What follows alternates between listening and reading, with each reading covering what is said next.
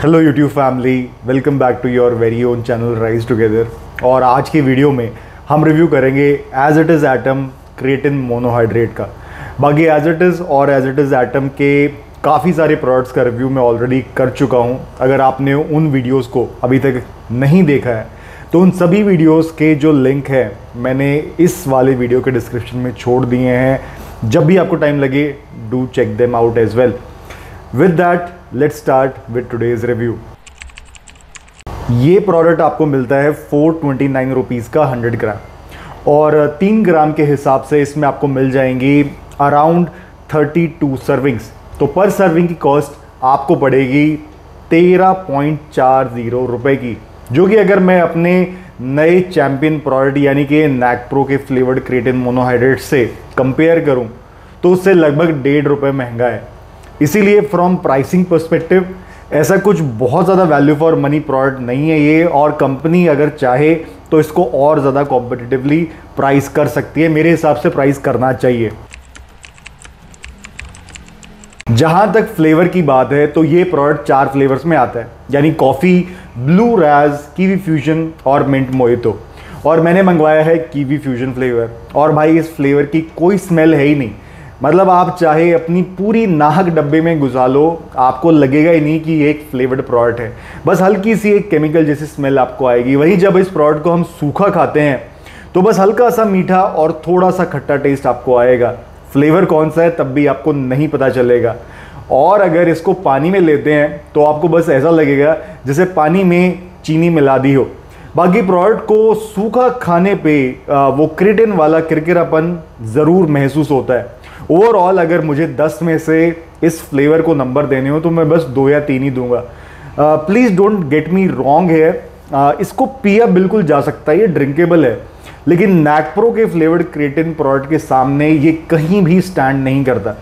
वही अगर आपने इसके दूसरे फ्लेवर्स यूज़ करे हैं तो प्लीज़ कमेंट करके अपना एक्सपीरियंस ज़रूर शेयर करिएगा। जहाँ तक इस प्रोडक्ट की सॉलिबिलिटी की बात है तो वो टिपिकल क्रेटिन जैसी है। और इसको जब हम नॉर्मल पानी में मिक्स करते हैं तो ये प्रोडक्ट जैसे क्रेटिन को बिहेव करना चाहिए, वैसे ही करता है। यानी मिक्स करके थोड़ी देर अगर हम इसको छोड़ दें तो फटाफट से जो क्रेटिन के पार्टिकल्स हैं, वो नीचे सेटल हो जाते हैं। जैसा अभी आप वीडियो में क्लियरली देख भी सकते हो। और सारा का सारा मतलब काफ़ी सारा क्रेटिन आपको नीचे दिखेगा अभी ग्लास के बॉटम में अगेंस्ट द ब्लैक बैकग्राउंड तो इस हिसाब से ये भी एक इंडिकेशन है कि हाँ प्रोडक्ट में क्रिएटिन मोनोहाइड्रेट कंपनी ने डाला हुआ है।